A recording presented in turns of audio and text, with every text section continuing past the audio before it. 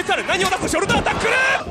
その後公式戦三笘が走った。おーっとフェイスとダッキングした。今度はご覧だねエルボーさあ序盤戦から両選手飛ばしていきます。自分が何をするべきかはい。マーク掴んだ円髄疑問か。ジャーマンスープさあ独眼竜パワーはいからどうするエルボブロック。さあ腕を取ったこのゴーンとも。またジ